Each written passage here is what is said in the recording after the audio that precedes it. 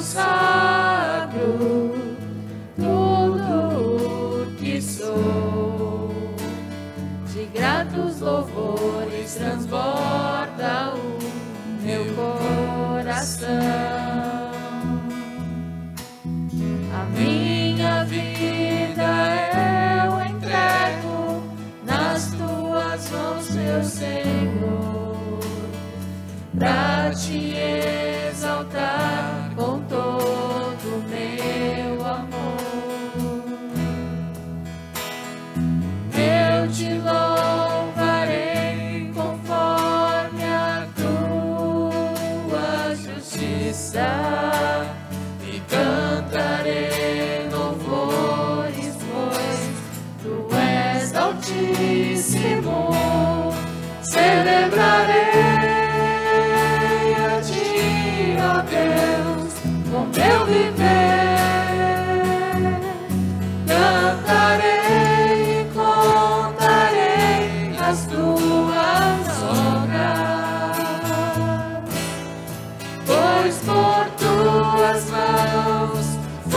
via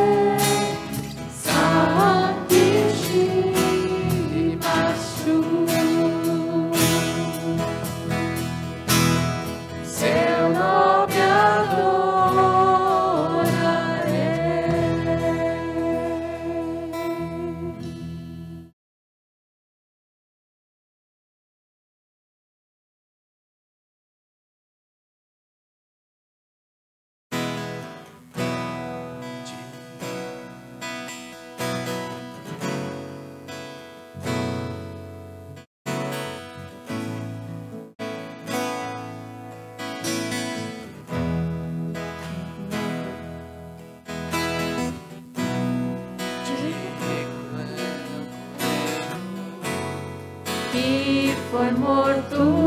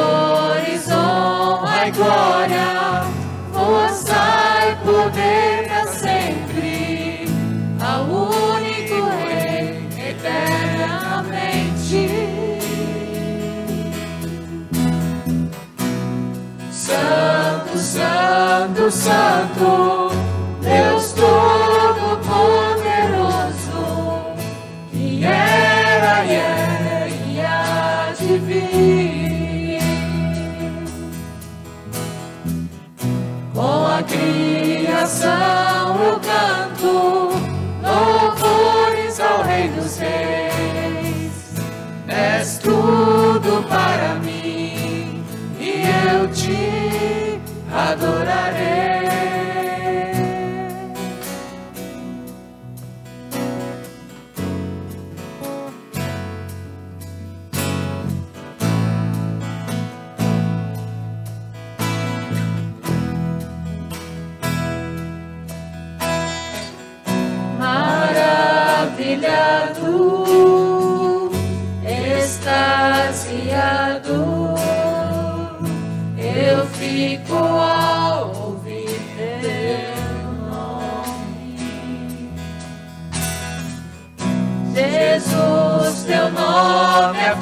Santa.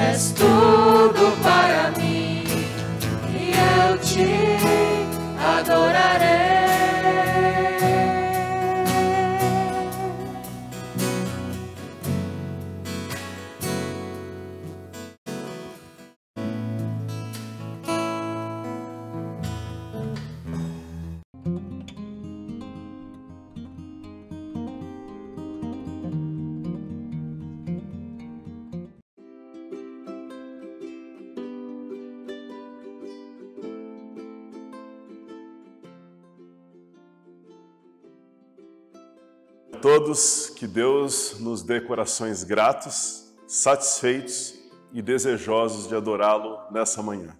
Eu gostaria de convidar você a abrir a sua Bíblia ou a acompanhar na tela Josué capítulo 7. Hoje nós vamos ler o capítulo inteiro, pulando apenas alguns versículos para o texto ficar um pouco mais compacto. Nessa manhã nós vamos falar sobre o pecado de Acã e eu espero que Deus fale muito ao seu coração. Vamos para a leitura do texto? Ali diz o seguinte: Mas os israelitas foram infiéis com relação às coisas consagradas. Acã, filho de Carme, filho de Zinri, filho de Zerá, da tribo de Judá, apossou-se de alguma delas. E a ira do Senhor acendeu-se contra Israel. Quando Acã se apossou das coisas que não eram para ser apossadas, né, dos despojos da guerra de Jericó, os israelitas acabaram sendo vencidos e humilhados na batalha contra a cidade de Ai. Então, no versículo 6, a gente vê a situação de Josué. Acompanhe comigo. Então, Josué, com as autoridades de Israel, rasgou as vestes, prostrou-se com o rosto em terra diante da arca do Senhor, cobrindo de terra a cabeça, e ali permaneceu até a tarde. O Senhor disse a Josué: Levanta-se, porque está aí prostrado? Israel pecou, violou a aliança que eu lhe dei, lhe ordenei. Apossou-se das coisas consagradas, roubou-as, escondeu-as e as colocou junto de seus bens. Vá, santifique o povo, diga-lhes: santifiquem-se para amanhã porque assim diz o Senhor, o Deus de Israel: há coisas consagradas à destruição no meio de vocês, ó Israel. Vocês não conseguirão resistir aos seus inimigos enquanto não as retirarem.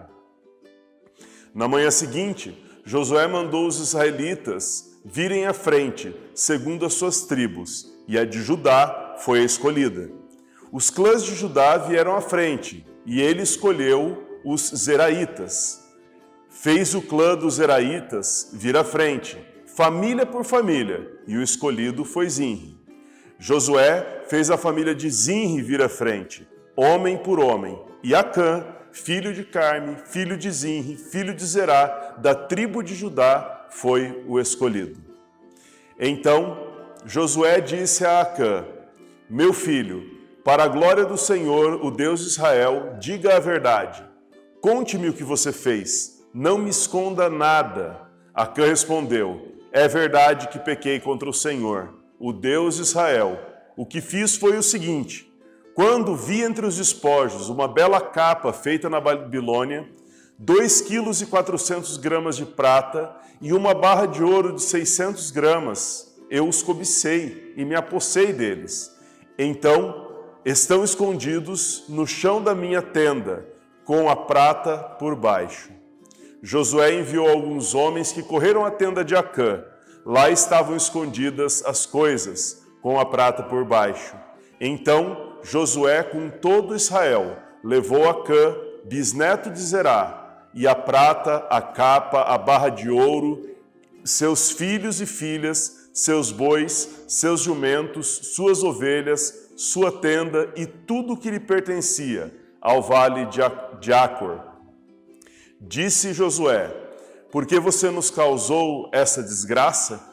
Hoje o Senhor causará a sua desgraça.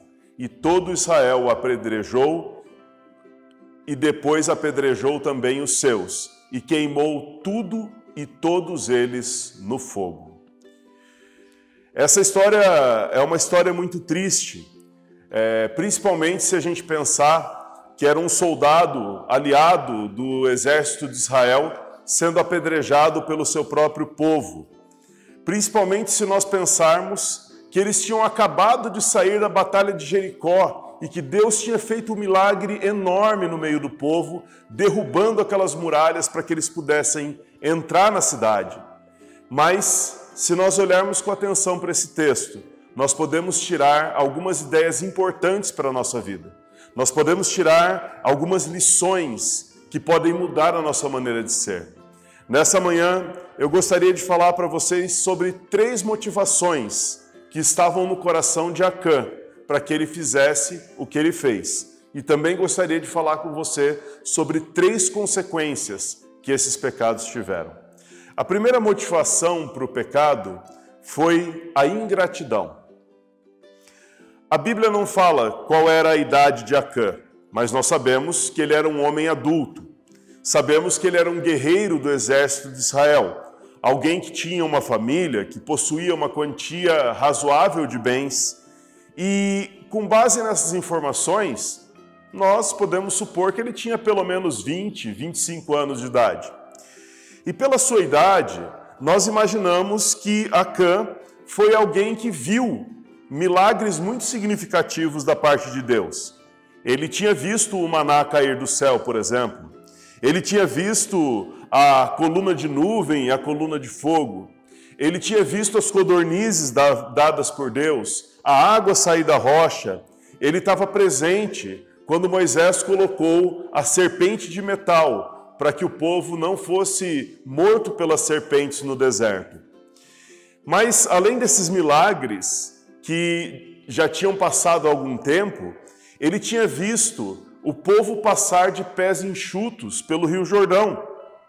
Ele também tinha visto as muralhas de Jericó caírem. O que, que isso significa? Significa que ele não era um homem ignorante sobre as coisas de Deus. Ele sabia o que Deus era capaz de fazer. Acã era uma testemunha de que Deus estava cuidando do povo de Israel.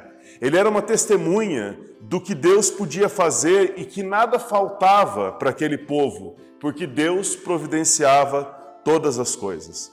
Mas infelizmente, o coração de Acã foi ingrato e ele acabou fazendo algo que desagradava o coração de Deus. Ele pegou das coisas que eram reservadas para Deus, o ouro e a prata, e ele pegou é, a capa que era condenada à destruição. Com a queda de Jericó, eles estavam dando um passo importantíssimo para a conquista da terra, mas é, como forma de agradecimento, Acã foi e desobedeceu a Deus. Querido, para nós que conhecemos a Cristo, é muito importante nós pensarmos que qualquer tipo de pecado é ingratidão contra Deus. Deus nos deu de tudo. Nós temos tudo que nós precisamos tanto para essa vida quanto para a vida futura. Mas mesmo assim, quando nós pecamos, nós usurpamos daquilo que não é nosso direito e desagradamos o coração de Deus. Acã se apossou do que era de Deus, o ouro e a prata, e também se apossou do que Deus tinha condenado, a túnica babilônica. E qual foi a consequência da ingratidão? A consequência da ingratidão foi a desgraça. Acã foi ingrato com Deus, faltou, faltou gratidão no seu coração e por conta disso ele acabou perdendo a graça de Deus que estava sobre ele e sobre a sua família. No momento da execução de Acã, Josué diz o seguinte: Hoje o Senhor causará a sua desgraça. Realmente é uma cena triste essa de Acã sendo apedrejado pelos seus compatriotas. Mas vale a pena lembrar que milhares de israelitas entraram na cidade de Jericó e foram fiéis a Deus. Apenas Acã desobedeceu a ordem. Perceba que todos os milagres que Deus fez para o povo de Israel também abençoaram a família de Acã. A graça de Deus estava sobre ele, ele e a sua família desfrutavam dos cuidados de Deus, das maravilhas que Deus estava fazendo. Mas Acã não soube ser grato a Deus. Acã e sua casa eram parte do povo escolhido por Deus, eram protegidos de Deus, estavam destinados a viver na terra prometida, contavam com todas as bênçãos de Deus, mas eles preferiram o caminho da ingratidão. Da mesma forma, querido, eu e você somos parte do povo escolhido de Deus na nova aliança. Eu e você somos abençoados por Deus. Eu e você recebemos abundantemente tudo que Deus tem para dar para o seu povo. nós temos que tomar cuidado para não sermos ingratos com Deus e nos tirarmos gradualmente debaixo da sua graça. A segunda motivação para o pecado de Acã foi a impunidade. Uma coisa que certamente moveu o coração de Acã foi a possibilidade de não ser pego no seu pecado. Foi a possibilidade de sair ileso da sua ação contra Deus. Milhares de israelitas tinham entrado na cidade de Jericó. Quem daria conta de que alguém roubou uma coisa ou outra, de que uma túnica desapareceu? Acã tinha no seu coração a certeza de que ninguém iria perceber isso. Por um lado, ele estava certo. Nem Josué, nem os seus homens, nem qualquer outra pessoa do povo conseguiu saber que ele tinha roubado aquelas coisas. Mas na sua arrogância, Acã acreditou que conseguiria enganar o próprio Deus. Algo que impressiona é que ele conhecia Deus. Ele sabia que Deus poderia puni-lo de uma maneira exemplar, assim como puniu os israelitas com as serpentes por terem murmurado contra Deus e contra Moisés. Mas ele resolveu arriscar. Ele resolveu tentar fazer o que Deus tinha dito para não fazer. A verdade é que todo o pecado tem consequência. Algumas consequências são aqui na terra, outras consequências é, vão ser na eternidade. E mesmo aquelas, aqueles pecados que não têm uma consequência visível foram pagos na cruz por um alto preço. Eu e você que conhecemos a Jesus, temos que tomar cuidado, porque os nossos pecados têm consequências. Às vezes a gente fica confortável de pedir perdão a todo momento pelos erros que nós cometemos e esquecemos que Deus é um Deus justo que Deus muitas vezes vai nos, nos livrar do pecado, mas não vai nos livrar das consequências. Ele vai nos perdoar, mas muitas vezes ele não retira as consequências de sobre nós. Para ficar claro, nós podemos pensar na figura de uma pessoa que comete uma fraude fiscal. E aí ela perde perdão para Deus e Deus a perdoa. Mas, diante da justiça, essa pessoa vai pagar o que é devido porque Deus não retira a consequência muitas vezes. E o que, que acontece? Qual que é a consequência de Acã acreditar que vai sair impune? A consequência foi a punição. Olha só que coisa. Ele achou que não seria punido e foi punido.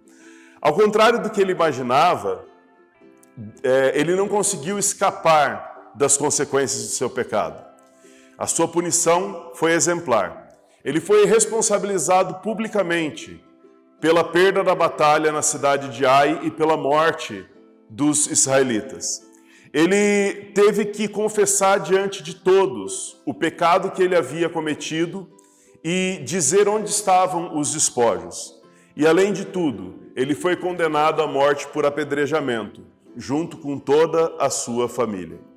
Queridos, se tem algo no Antigo Testamento que nós podemos aprender, é que Deus tem uma repulsa muito grande pelo pecado.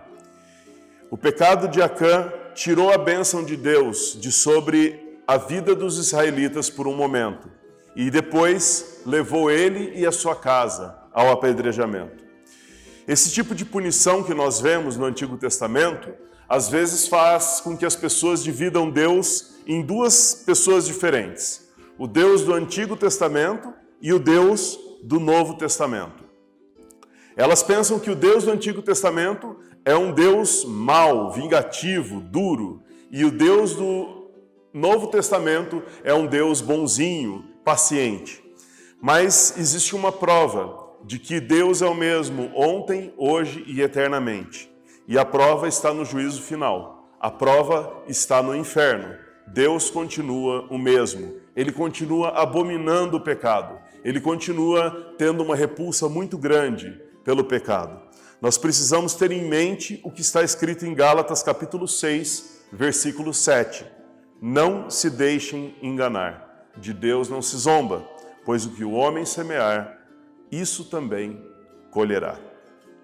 A terceira motivação para o pecado de Acã foi a cobiça. Algo que chama atenção para o pecado de Acã é a ganância com a qual ele fez o ato de roubar aquelas coisas. Pelo que nós vemos no texto, Acã não roubou porque ele era pobre ou necessitado ou qualquer coisa desse tipo. Ele era um homem que tinha recursos. Ele tinha bois, ele tinha jumentos, ele tinha ovelhas, ele tinha uma tenda e uma lista de itens que não é citada no texto que nós lemos. Mas o seu coração encheu de cobiça de tal maneira que ele desobedeceu à ordem de Deus. Note que o próprio Acã reconhece o sentimento de cobiça no versículo 21. Ele diz o seguinte: Quando vi entre os despojos uma bela capa feita na Babilônia, dois quilos e 400 gramas de prata e uma barra de ouro de 600 gramas, eu os cobicei e me apossei deles. Acã não roubou por necessidade. O ouro e a prata não eram para dar comida para sua família. A túnica não era para eh, resolver um problema de frio. Não, o motivo do pecado dele foi a cobiça, foi a ganância de ter mais do que ele precisava. Em 1 Timóteo, capítulo 6, versículo 10, nós vemos o apóstolo Paulo dando uma instrução importantíssima para nós, dizendo: Porque o amor ao dinheiro é a raiz de todos os males, e alguns, nesta cobiça, se desviaram da fé e a si mesmos se atormentaram com muitas dores. Aqui nós temos uma oportunidade para refletir. Dificilmente alguém da nossa igreja vai cair no mesmo pecado de Acã. Mas é muito fácil nós cometermos pecados movidos pela mesma intenção, movidos pelo mesmo sentimento. O que moveu o coração dele foi que ele cobiçou e ele amou mais o dinheiro do que a Deus. Muitas vezes as pessoas roubam o tempo consagrado a Deus. Elas usam esse tempo para trabalhar. Elas usam o dinheiro consagrado a Deus para o seu deleite pessoal. Elas colocam a Deus em segundo lugar na sua vida, por amor ao dinheiro. Perceba que quando as pessoas fazem isso, elas não estão cometendo exatamente o mesmo pecado, mas o sentimento, a motivação, muitas vezes é a mesma. Qual foi a consequência de Acã ter agido dessa maneira, por cobiça? A consequência foi a ruína. Veja que coisa terrível sucedeu a Acã. Todo aquele dinheiro que ele conseguiu esconder debaixo da sua tenda foi o responsável pela destruição de todos os seus bens. Na busca por bens materiais, muitas pessoas deixam Deus de lado, abandonam a sua família, esquecem da sua saúde. Quando nós não cuidamos de Deus, da família e da saúde, nós estamos pavimentando o caminho para a ruína. Jesus, falando de riquezas, disse em uma das suas parábolas: De que vale ao homem ganhar o mundo inteiro e perder a sua alma? O apóstolo Paulo, falando sobre família, diz o seguinte: Mas se alguém não tem cuidado dos seus, e principalmente dos de sua família, negou a fé e é pior do que o infiel. Querido, o desejo de ter uma vida melhor, de ganhar mais dinheiro, de guardar para o futuro, é uma coisa muito boa, é algo bom. Deus vê isso com, bons, com bons olhos. Mas quando nós desobedecemos as ordens de Deus, quando nós deixamos de amá-lo sobre todas as coisas, quando nós deixamos de cuidar das nossas famílias, quando nós deixamos de cuidar do nosso corpo, que é o templo do Espírito Santo, nós colhemos ruína no futuro. Fechando as nossas ideias, eu e você precisamos oferecer para Deus um lugar de honra em nossas vidas. A cidade de Jericó era a primeira cidade a ser conquistada pelos israelitas ao entrar na terra prometida. E como honra, eles deram tudo que tinha naquela cidade para Deus.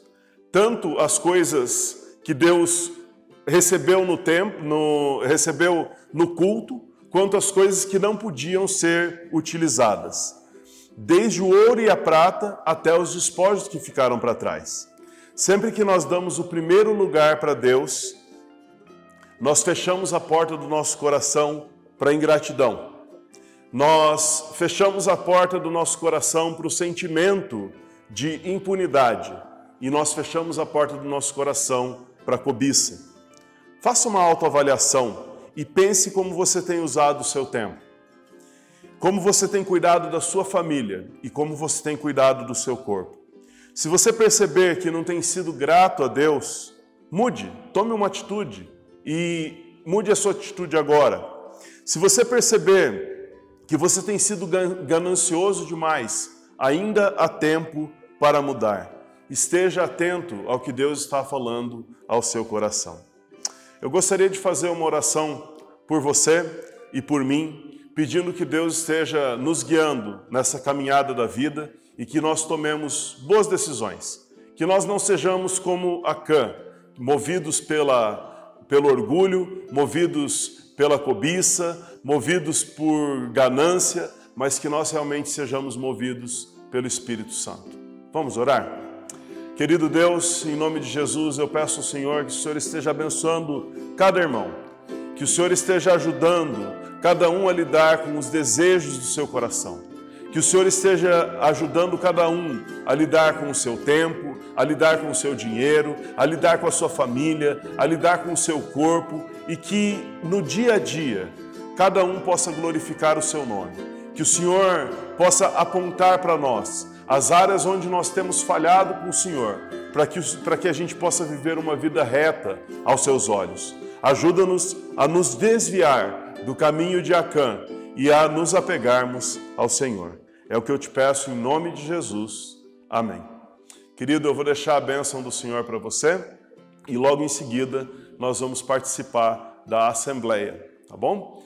Então, que a graça do nosso Senhor Jesus Cristo, o amor de Deus e a comunhão do Espírito Santo sejam com todos vós, de agora e para sempre. Amém. Uma excelente semana, uma excelente assembleia para você. Que Deus te abençoe.